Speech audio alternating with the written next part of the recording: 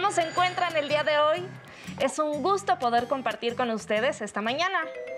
¿Verdad, Ramón? Ramón. Ah, ah, ah, sí. Buenos días a todas y a todos. Hola, Adriana. Hola.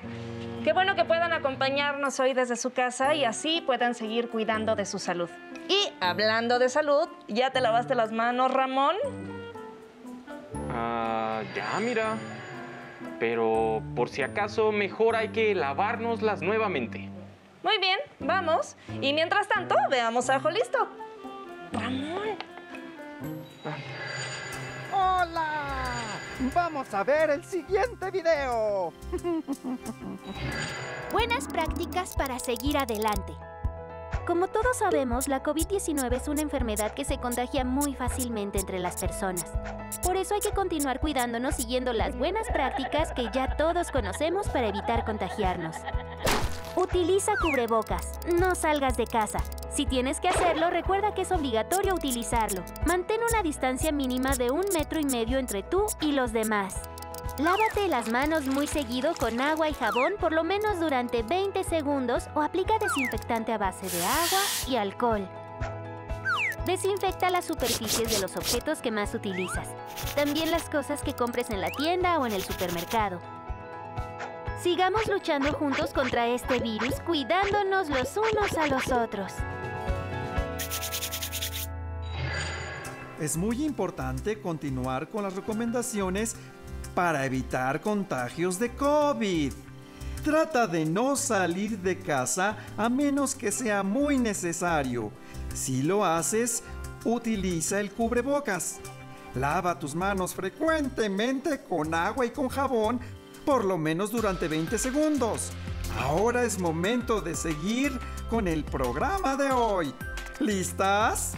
¿Listos? ¡Muy bien! ¡Nos vemos pronto! A la orilla de un pueblo lacandón vivía el anciano que guardaba los secretos de la selva, algunos de ellos muy peligrosos. Por eso, aunque los adultos iban a pedirle consejos, no permitían que los niños se le acercaran. Una noche de luna llena, algunos niños decidieron aventurarse cerca del gran fuego que aquel abuelo preparaba cada mes y que se veía desde muy lejos. Mientras se acercaban, el mono soltó un aullido tan fuerte que despertó al lagarto, quien rechinó sus dientes. Desde lejos, el bramido del jaguar creció hasta llenarlo todo. Estuvieron a punto de correr, muertos de miedo, pero la voz firme y dulce del anciano los tranquilizó. Niños, los estaba esperando.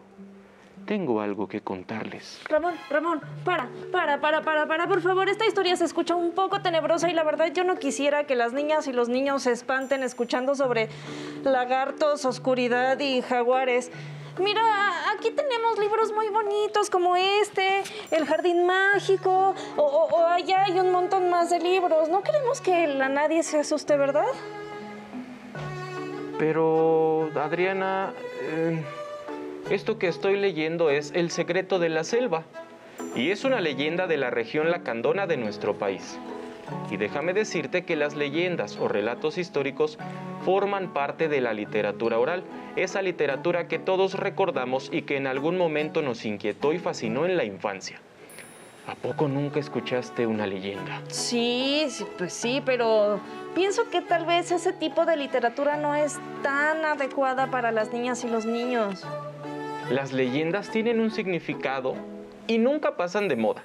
Además, al igual que los cuentos de princesas, flores y estrellitas, también nos facilitan el identificar y expresar nuestros sentimientos, pensamientos y temores.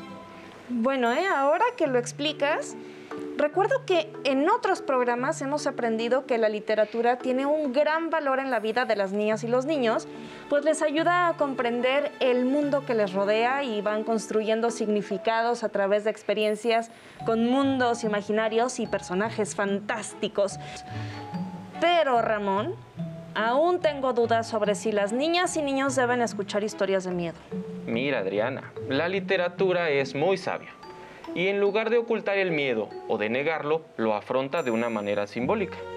Por ejemplo, El lobo o el dragón de un cuento de miedo se convierten en una representación de eso que en su interior les atemoriza. Y el verlo plasmado en imágenes concretas les ofrece una salida y la posibilidad de controlar o vencer aquello que causaba la angustia. Las niñas y los niños pueden utilizar su poder lector para dejar prisioneros a sus miedos entre las páginas de un libro y dejarlos salir solo cuando ellos o ellas lo deciden. Además, ya habíamos platicado que todos sentimos miedo alguna vez. Al igual que la alegría o la tristeza, hay situaciones que nos causan miedo. ¿No crees, Adriana? Eso es verdad.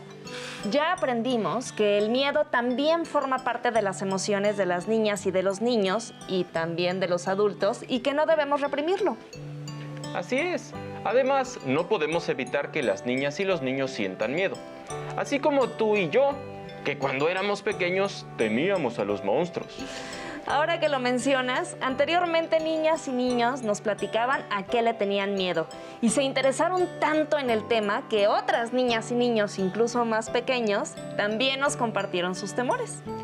Me encanta la idea de que puedan expresar e identificar aquello que les causa miedo. Vamos a verlos. ¡Vamos! A Sophie eh, los sonidos eh, fuertes son lo que yo he notado que la exalta y la asusta. A veces al estar dormida y al escuchar un ruido así despierta llorando y asustada. Yo he notado que Ubito cuando se encuentra solo o no nos puede ver es cuando le da miedo porque comienza a llorar un poco desesperado. Y otro de los momentos donde lo he visto como con temor es cuando escucha un ruido muy fuerte, especialmente cuando comienza a dormirse. Oye, Fanny, ¿tú le tienes miedo a algo, mi amor? ¿A qué le tienes miedo? ¿A qué le tienes miedo? ¿Al león? ¿Cómo le hace león? ¿Y te da miedo, mi amor? ¿Sí?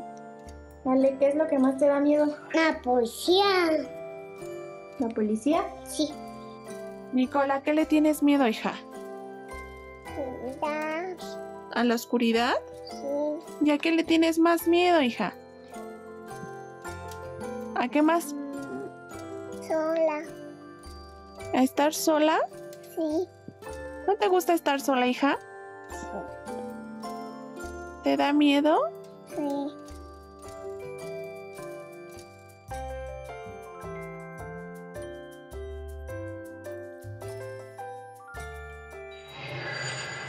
Todas las niñas y niños son muy diferentes y desde que son pequeños experimentan situaciones que les hacen sentir asustados o inseguros. Por ejemplo, un león o la oscuridad.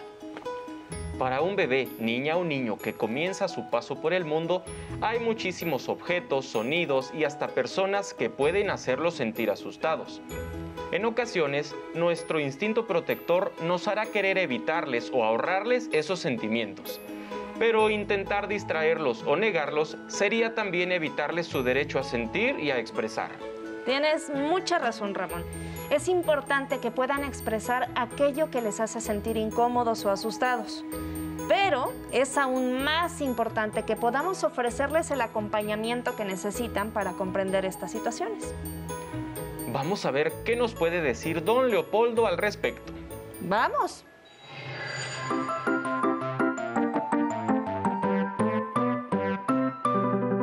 Hola, ¿qué tal? Yo soy don Leopoldo.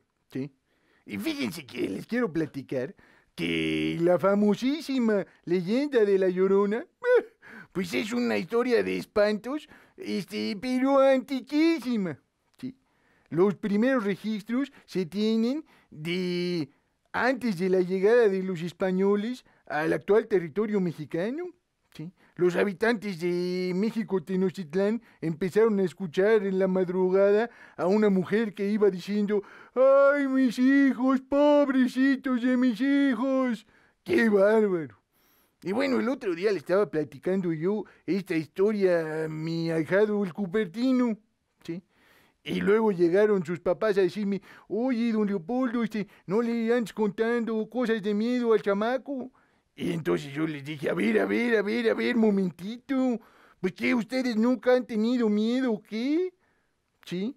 El miedo en los niños y las niñas es importante. Yo me acuerdo este, de chamaco cuando me llevaban al cine a ver este, al santo contra las momias. No, pues me daba terror, me asustaba. ¿Sí?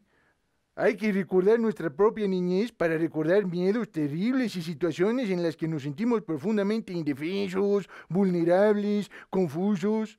Pues resulta que cuando este, contamos una historia con monstruos, ogros, brujas, lobos feroces o aquellos personajes que producen miedo y narran aspectos como el dolor, la muerte, los celos o la maldad, ¿sí? Pues estamos eh, brindando una enorme y potente herramienta para nombrar lo innombrable, ¿sí? Esa es una de las principales funciones del lenguaje y de la literatura, expresar, traducir y dar forma a las emociones y a los sentimientos que tantas veces nos atormentan. Y el miedo pues no es ajeno a la vida real, ¿verdad? Y muchos de estos cuentos pues son sabios. Entonces, en lugar de negar el miedo, se muestra que es un sentimiento válido, ¿sí? Y que también es posible vencerlo.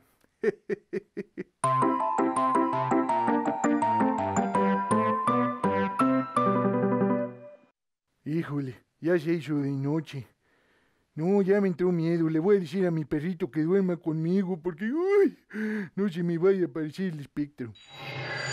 Como siempre, don Leopoldo tiene toda la razón. Sí, la literatura en todas sus formas, cuentos, leyendas, cantos, rimas o adivinanzas, nos ofrece esa oportunidad para nombrar lo innombrable, para poder hablar de lo que nos preocupa o nos angustia y también para encontrar una respuesta o un camino de salida a nuestros temores.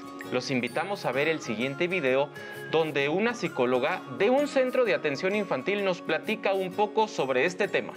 Pongamos atención. Hola, soy Victoria Celia Ortiz González, psicóloga del CAICEP número 3 de la ciudad de Pachuca y voy a hablarles sobre el miedo infantil. El miedo es una de las emociones que se presentan de manera espontánea en las niñas y los niños frente a determinados estímulos. Los miedos suelen aparecer entre los 3 y los 6 años de edad, que es cuando las niñas y los niños aún no entienden el mundo que les rodea o no son capaces de separar lo real de lo imaginario. El papel del adulto es muy importante. Debemos de transmitirles tranquilidad, seguridad, confianza y ayudarlos a superar esos miedos con cariño y comprensión. Debemos de validar esa emoción que vive la niña o el niño. Es necesario que ellos se sientan escuchados y comprendidos. No es recomendable burlarse de los miedos que sienten las niñas o los niños, ni minimizarlos o ignorarlos. Por el contrario, es muy importante que ellos platiquen y expresen lo que ellos sienten. Los miedos aparecen, desaparecen y cambian a medida que la niña y el niño crece y madura. Uno de los recursos muy importantes que ayudan a las niñas y a los niños a superar sus miedos son los cuentos infantiles, porque es a través de los personajes que ellos ven reflejadas sus propias emociones y sentimientos.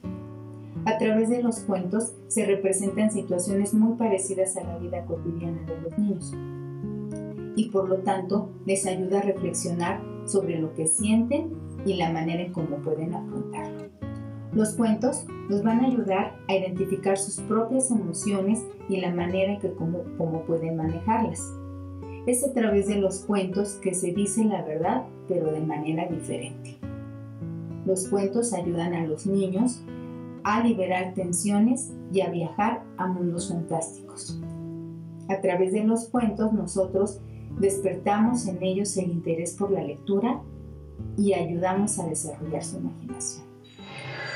Esos objetos que nos asustan, esos lugares o sonidos que desconocemos han dado origen a historias, leyendas, rimas y adivinanzas.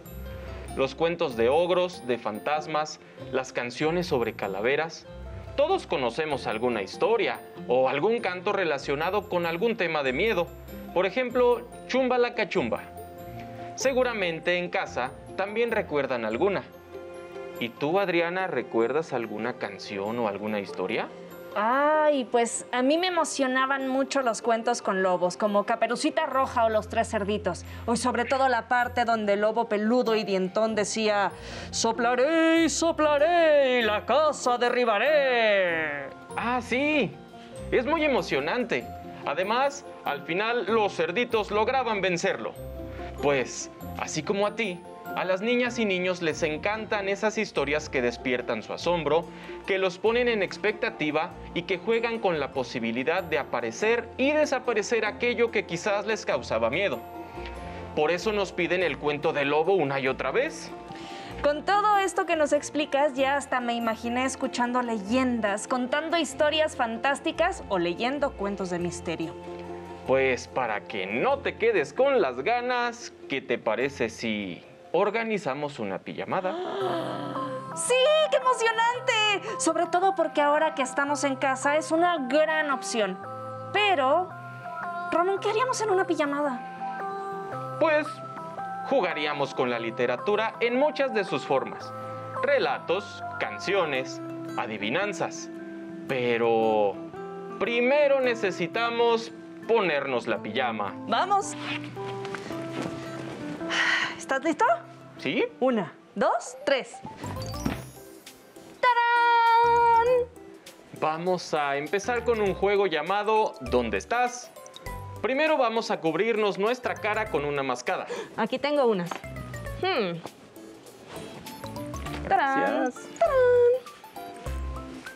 Este juego puede parecer sencillo, pero para las niñas y los niños, sobre todo los más pequeños, se asemeja a la separación de sus adultos significativos o cuidadores primarios. Situación que puede llegar a convertirse en temor. El que ellos o ellas puedan tapar y destapar su cara libremente les facilita superar ese momento con seguridad y sin que les genere angustia.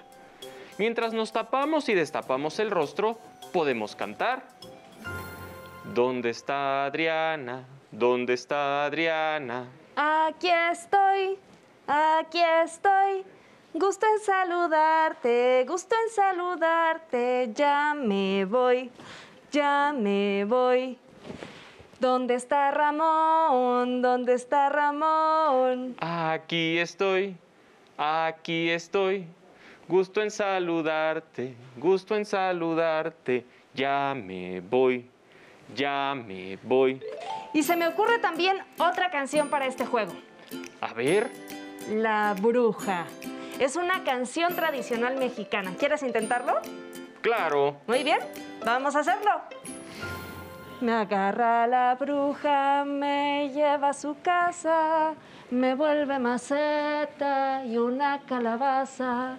Me agarra la bruja, me lleva al cerrito, me vuelve maceta y un calabacito.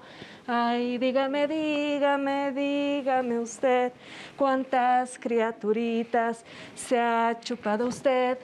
Ninguna, ninguna, ninguna, no sé. Yo ando en pretensiones de chuparme a usted.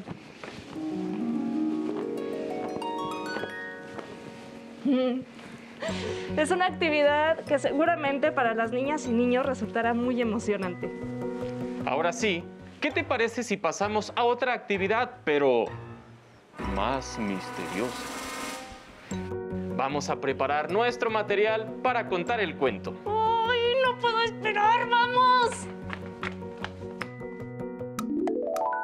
Ya estamos listas y listos para la siguiente actividad. Y para eso bajamos un poco la luz y nuestros ojos ya se empiezan a acostumbrar a la oscuridad. En la noche todo se transforma y las cosas no son como se ven durante el día. A veces esto podría incomodar un poco a las niñas y niños, pero si aprovechamos el momento y hacemos uso de la literatura y del juego, la experiencia será agradable para ellas y ellos. Y ahora, con estos proyectores, vamos a hacer unas sombras y a contar un cuento. Las lechucitas. Había una vez tres lechucitas. Sara, Percy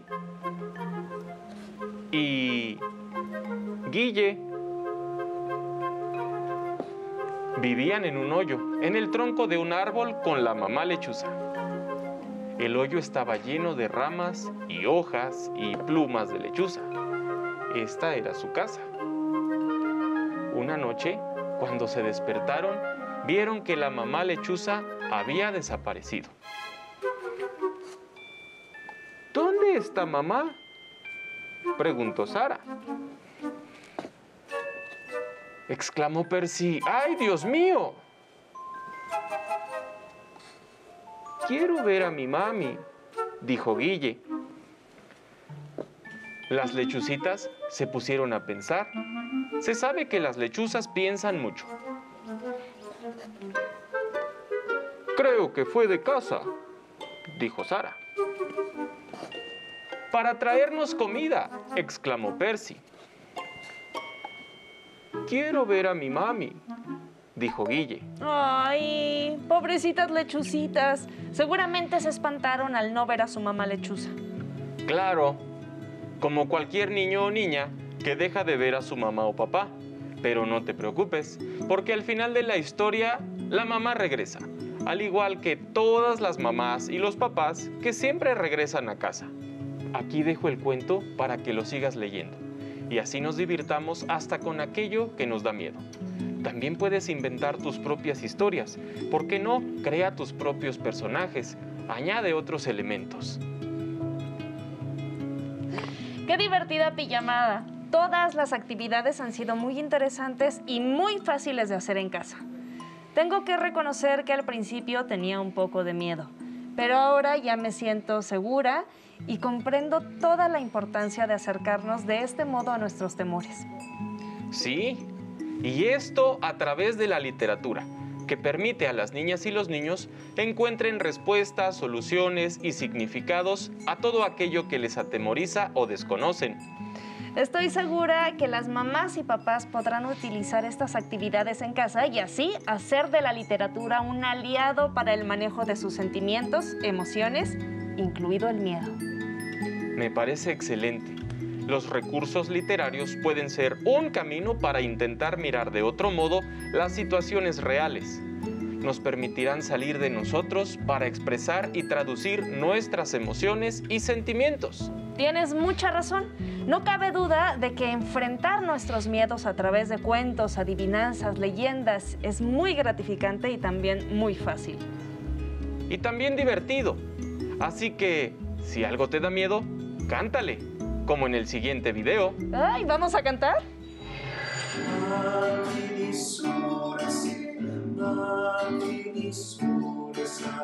Dame la arañita, dame la arañita, que en tu mano está. Aquí la perdí, aquí la he de hallar. Y si no la hallare, y si no la hallare, en tu mano está.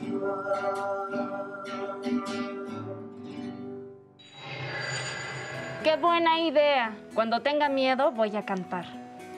Es muy buena idea, Adriana. Y ahora, ya para terminar, quiero recomendarte unos buenos cuentos de misterio y ficción que podemos compartir con las niñas y los niños. ¡Ay, vamos!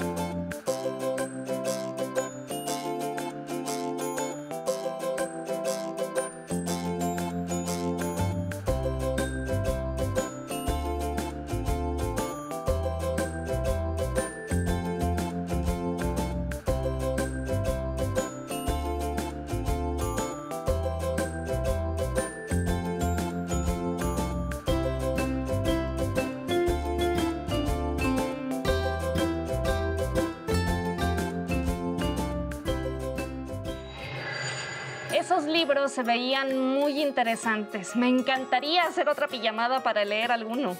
Y hablando de leer, Adriana, es muy importante recordar que la lectura, el juego y la convivencia deben ser un momento de gozo y placer. Debemos ser cuidadosos con nuestra voz y con nuestros gestos al leer. Podemos apoyarnos con instrumentos musicales u otros objetos que tengamos en casa para hacer estas experiencias más agradables. Y lo que no debemos hacer es obligar a las niñas y a los niños a enfrentar sus miedos. Es muy importante lo que mencionas. Debemos ser observadores y estar atentas, atentos a sus reacciones, para que puedan ser triunfadores en todas esas historias de dragones y de fantasmas. Y ahora vamos a escuchar el siguiente cuento. ¡Vamos! Chumba la cachumba. Ilustrado por Carlos Cote. Cuando el reloj marca la una, los esqueletos salen de la tumba. Chumba la cachumba la cachumbamba. Cuando el reloj marca las dos, los esqueletos cantan a una voz. Chumba la cachumba la cachumbamba. Cuando el reloj marca las tres, los esqueletos mueven los pies. Chumba la cachumba la cachumbamba. Cuando el reloj marca las cuatro, los esqueletos juegan al teatro. Chumba la cachumba la cachumbamba. Cuando el reloj marca las cinco, los esqueletos pegan un brinco. Chumba la cachumba la cachumbamba. Cuando el reloj marca las seis, los esqueletos nombran al rey. Chumba la cachumba la cachumbamba. Cuando el reloj marca las siete, los esqueletos lanzan un cohete. Chumba la cachumba la cachumbamba. Cuando el reloj marca las ocho, los esqueletos comen bizcocho. Chumba la cachumba la cachumbamba. Cuando el reloj marca las nueve, los esqueletos ven cómo llueve. Chumba la cachumba la cachumbamba. Cuando el reloj marca las diez, los esqueletos corren una res.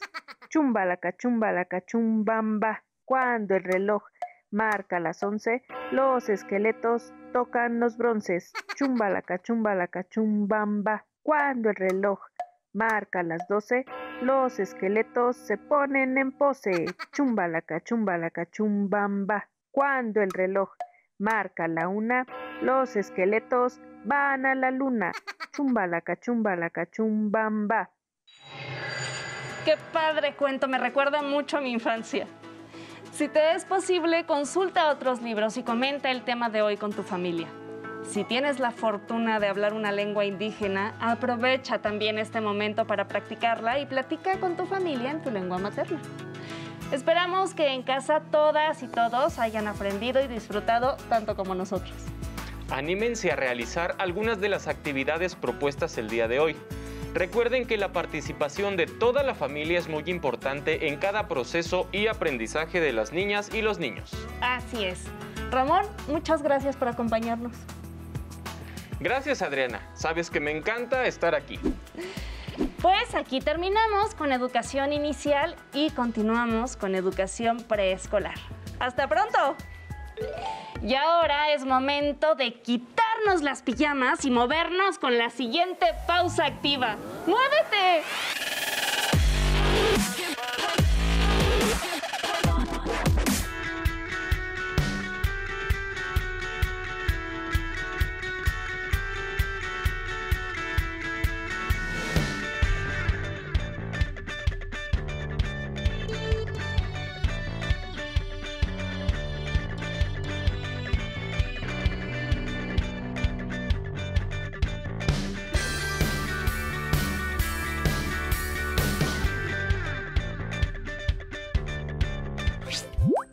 Si tienes alguna duda, contáctanos.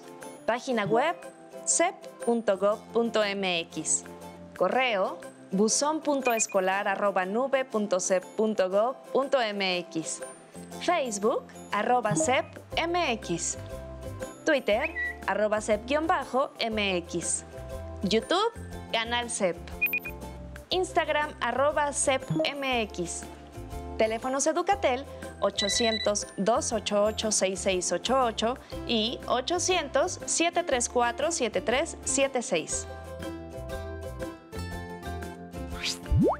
Si quieres volver a ver los programas de Aprende en Casa, los puedes encontrar en la siguiente liga, aprendeencasa.cep.gov.mx.